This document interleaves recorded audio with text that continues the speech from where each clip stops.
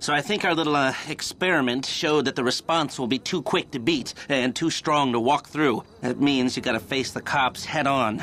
Dirty cops. Uh, the dirty cops head on. Head on. Man, I don't know. Well, you'll be prepared. Convoys carrying military grade hardware pass near here to get to Fort Zancudo. I propose hijacking one and using the equipment to get an edge on the locals. I can get you the exact details of the shipment as soon as we're done here.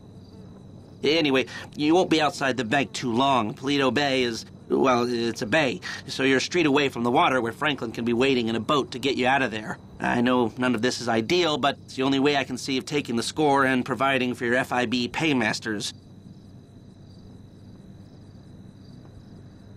Fine. We need personnel? Just a gunman. That should do.